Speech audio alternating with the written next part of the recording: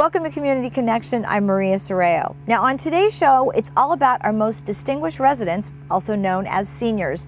From deals to scams, we're going to bring you all the info. So let's get started at the Peninsula Senior Center, where they're keeping our seniors very busy.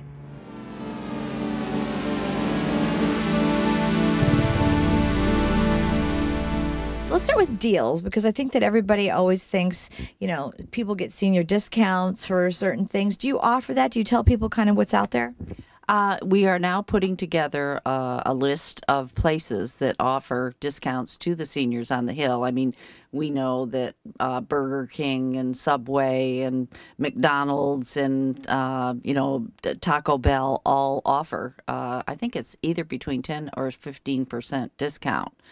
Um, and uh, is, I'm is that any day of the week any or day, any day of the week. What kind of things do you also do here? Um, as far as I know, you've got some fitness classes that you do. Tell us about that. Uh, yes, we have four fitness classes. We have uh, yoga and balance, and um, then we have uh, muscle one, two, and three, depending on uh, your excuse me your abilities. Um, uh, they're twice a week.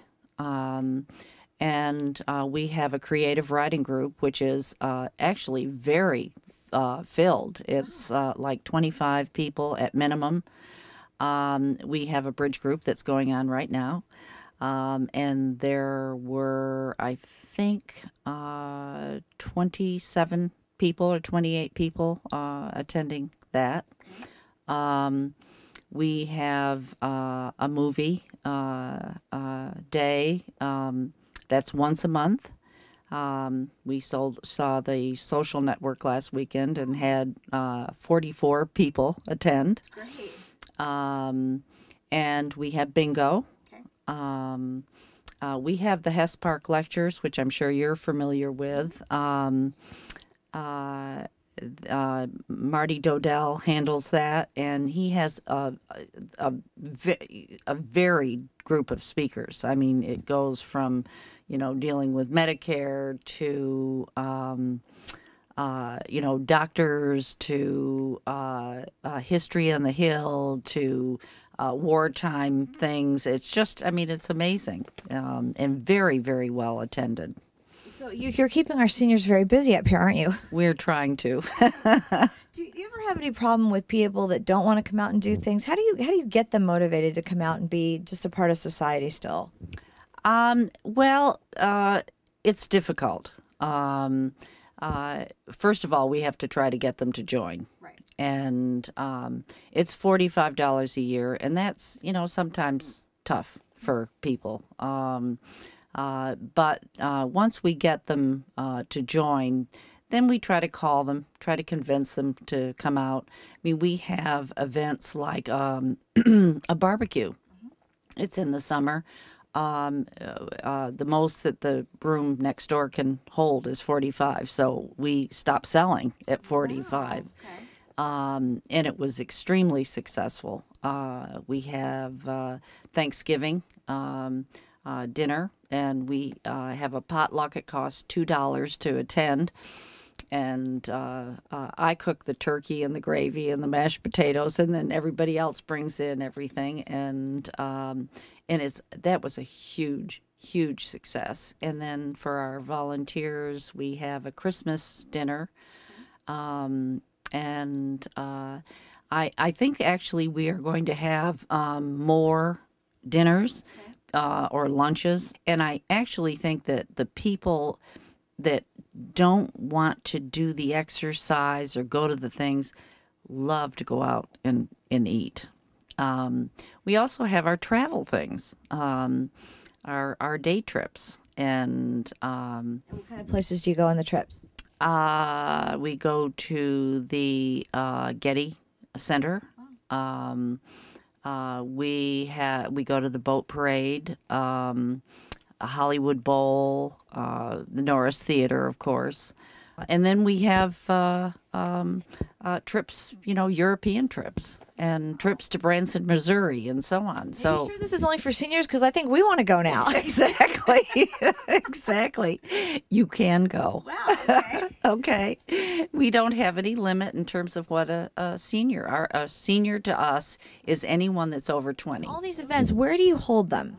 Um, well, mainly here. Um, starting April 4th, we're going to have, uh, uh, start, yes, the April 4th, we're going to have um, uh, just an open house at uh, the Annex, which is located next to the library. Uh, it's from 10 to 12:30. It'll be coffee. We're going to have the Wii games and um, and cards and just chatting and coffee and um, that that should be a lot a, lot of fun. We have a caregivers group uh, that offer help to people with Alzheimer's. Uh, uh, or you know people caring for Alzheimer's and so on. So, I mean, there's so much that we have. Um, it's exciting. It is. Now, do you have you have volunteers as well? Is that right? Oh, good grief. We couldn't survive without volunteers. Um, we have, I think it's like 4,000 hours of volunteers every year around there.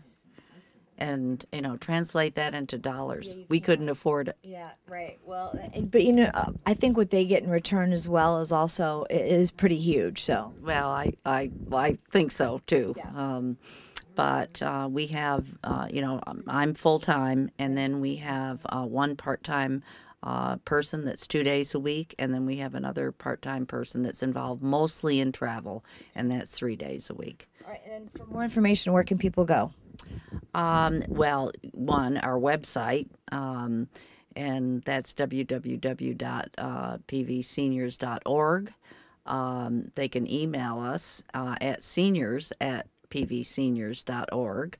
Um, uh, they can come to us right here at City Hall, our PV City Hall. We're in the two trailers here. Uh, or call us at 310 uh, 377 3003.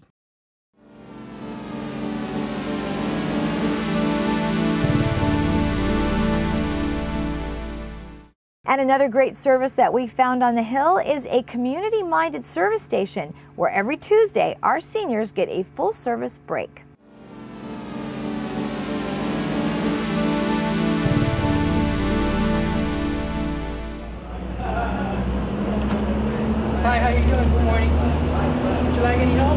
Talk about this, the concept of Senior Tuesdays, how you came up with it. Well, I'd like to take credit for it, but it really wasn't my idea. It was a customer of mine uh, whose parents lived down in La Jolla, or they lived down La Jolla at that time. She was down visiting her customer, her parents, and went to get gas, and they had the Senior Tuesday, and came back and she told me about it, and so that was 18 years ago. We've been doing it ever since. I've been driving up here for quite a few years and I always see it jam packed on here on Tuesdays. Do you have regular customers that come back to you? Absolutely, they love Senior Tuesday. The slogan is Senior Tuesday. It's for everyone. So it's it, it really truly is for everyone. And not only is it uh, fun for our customers who can come in and have their gas pumped and the oil checked and sit in the car and enjoy that and the tires checked and fluids checked and all that, it's good for our employees. Uh, what it's really done is it's helped me to train a new generation of employees who really don't know uh, what it is to give service because you don't get service anywhere. And so when I tell them go and talk to the customers, they're they're they're awkward in doing that. But Sen- Senior Tuesday makes it okay. When was the last time you saw somebody do the windows? I mean, I even pull up here and they're doing my windows and they're bumping the gas and it's like a luxury. Isn't it pretty cool? Yeah. Yeah. Well, it's it's a it's an era gone by, and I still remember when I began driving. I remember gas was under 20 cents a gallon, and they pumped your gas, they washed your windows, they checked the tires, and that was all part of it. And then it all went away, and there is very little service left, and and, and virtually no service in our industry. And so for us to um, offer it, i- it's it's a treat. It sets us apart from our competition And it's been incredible for us internally in terms of getting our employees to understand what it is to give service. Can you tell me how long you've been coming here? I've been coming here for a long time myself, and I just think it's an amazing program. Have you been coming here a while? Yes, I have. Yes, it's wonderful. I sometimes, I have to tell you, sometimes I forget about this wonderful Tuesday. I try to remember every time, but you know. Anyway, it's so, it's a lost thing, isn't it? Nobody does this anymore. I was gonna say it's such a treat to have somebody do your windows. They check your tires. They do everything for you. I'm, I'm just loving it. You know, and he says, of course, your tires are low. Well, of course, because I don't do it. So you have an auto repair shop. So let's talk about the the discounts that you offer for seniors for that. Okay, so the auto repair shop is Hillside Auto Repair. It's right across the street on Hawthorne and Newton. And um, we've been in business for 20, this is our 27th year. We are AAA's top rated repair shop and we offer senior discounts every day of the week. It's 10% um, on, on the labor on, um, on all repairs. Thank you for coming. Back again.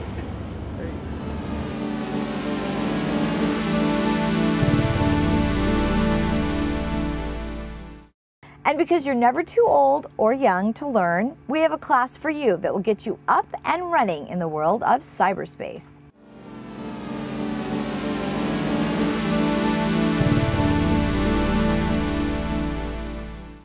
Well, the class is, is oriented towards seniors. It's sometimes called senior computing, and it is designed for really seniors who have never used a computer. It is absolutely basic. It's uh, there. Are, there are actually six weeks of it. It's once a once a week on Wednesdays. It's one hour at a time, because I figure you know, more than that is kind of hard to absorb. The nice thing about it is we are able. Every senior is able to sit at a computer and actually do things, so it's hands-on. When you sit down and, and just try to take notes, even if you get all the notes right, it doesn't quite fit. If they're there moving the mouse and hitting the keys, then they, then they learn what they're doing. And almost everybody who has come here, at least initially, is somebody who has gotten a computer and never had a computer in their life. Our first hour goes into how do you turn on the computer, how do you safely turn it off, and then we show them how to use the mouse in very basic features. How do you maneuver around with a mouse? And then we go into one on the internet, one on email. Uh, we have two on Word, the word processing program, because that's much more complicated. And it's all very basic. I just try to teach them enough to get them started on whatever their platform may be. So there are all kinds of different ways of, of using the internet. We, we show them the basic ones. Uh, all kinds of different emails, and they have slightly different ways of working things, or quite often slightly different places on the uh, monitor itself where things may be found. And I just show them how to do it basically and figure they can go on from there. The, one of the most important things the seniors get out of it is a really a feeling that they can do it. We go as fast as the slowest learning student. So if, if we have to wait a couple, if you all have, have gotten it and we have to wait a couple of minutes so I can help somebody else, practice. Each time they come in, they say, I learned something new. Even though you did it before, I didn't really get it. Now that now I've got now I get it. I can be better on the computer. Any little thing they can learn is uh, is marvelous to them. Like, and, and learning to uh, getting comfortable with the computer is opening a whole new world for them. Well, the easiest way for somebody who's not familiar with a computer is they can call me direct and just say, I want to know about the computer class, and I'll tell them anything I can. I'll try to answer all the questions. My phone number is 310 area code 729 7666.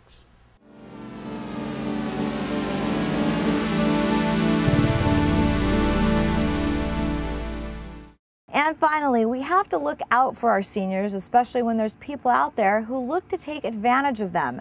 I caught up with Andy Gill at the Lomita Sheriff's Department, who tells us more.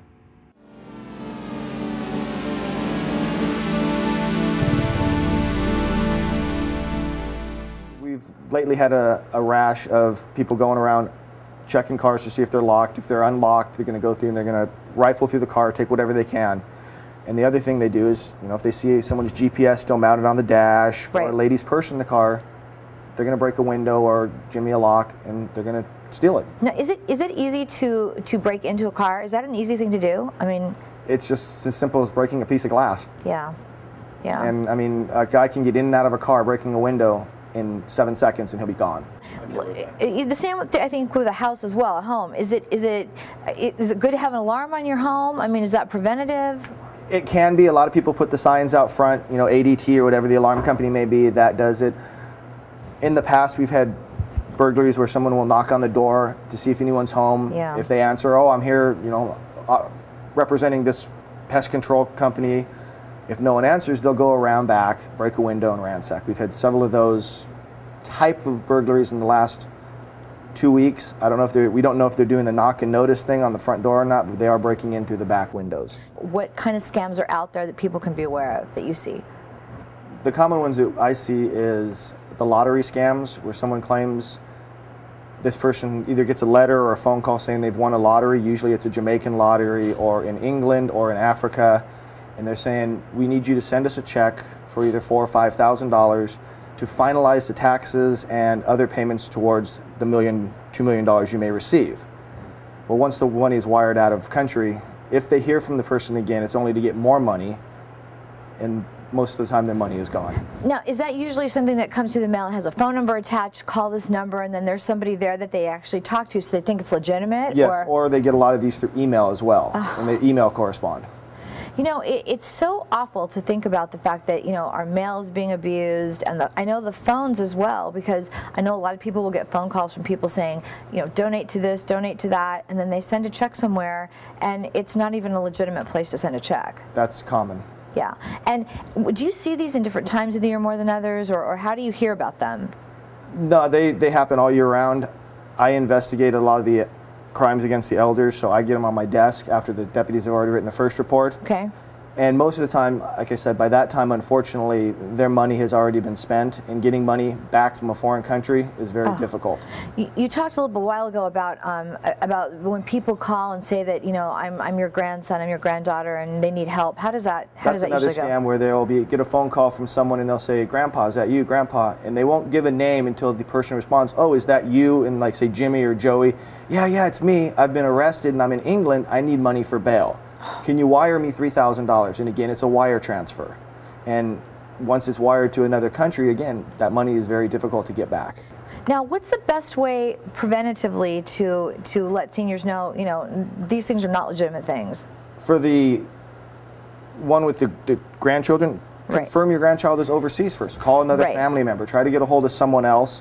The lottery scams, I have a belief that if it's too good to be true, It's too good. it's too good to be true. Yeah. And normally, if you win a lottery, you don't have to pay taxes ahead of time. Right, that very good point. Also, you know, when we think about putting our mail out and putting bills out to go, you know, outwardly in the mail, I guess that's dangerous too. That's another crime we've been having quite a bit of. Somebody will write their check out to pay their utilities. Yeah, exactly. They'll clip it onto their mailbox, hoping the mailman's going to pick it up. Before the mailman gets to it, someone else does. They do is washing the check, they bleach out the name, they rewrite it, and it's cashed. A lot of times on it, somebody will write it for $85 to the electric company. Sure. Well, somebody will add a nine in it, so it's $985 when it gets cashed. Oh my gosh. Now, how do you find out about most of these? again, I find out after this person gets their bank statement and notices that there's an 885 or 985 dollar check that's been cashed, and they're like, "I didn't write that." Majority of those, those are a little easier to deal with. They're done locally. We have video of the person doing it from the bank. Mm, right. But then again, identifying that person on video is also very difficult. That was kind of going to be my last way to maybe wrap this up is, is how do you find these suspects that, that are doing things like this? Fortunately for us, they do it quite often. Okay, yeah. they don't do it one time. They're repeat stop. offenders, I guess. yes. Yeah. So we have a lot of times we'll do with the local law enforcement, LAPD or Palos Verdes Estates, and someone will know who they are. Oh, if really? that doesn't work, we go to the news media. I had one case where I didn't have anybody. I had a picture of someone I put out in the newspaper, and I got a phone call. Oh, that's a family member of mine. That's this person's name. And she was later arrested, convicted, and is in prison right now for identity theft. Now, is it usually somebody in our own neighborhood, or do people come from out of town and, and sort of stalk different neighborhoods? I wouldn't say it's out of town per se, but like the ones we're getting in Rancho Palos Verdes, they're probably somewhat local because they know the areas. They know the ins and the outs. If you're not familiar with Rancho Palos Verdes, you can easily get lost up there. Right, absolutely. Now, do, do people sort of, I mean, if they're coming into your neighborhoods, do they look for elderly people? Do they look for seniors and then kind of say, you know, I, I saw two older people that live in this home, or, or how does it work? On some they will, but majority of the mail thefts, they're just driving down the street yanking them off the mailboxes. Wow. So I guess something preventative would also be for um, for seniors, especially to get on a do not call list or Get on the do call do not call list. Try to verify someone who, who they are prior to giving money. okay. And that's you know, you can get a phone call from the policeman's ball asking for hundred dollars. Try to confirm who they are before you give money away. Right, and then I guess like you said before, if it's too good to be true, it's usually too, Too good, to be, true.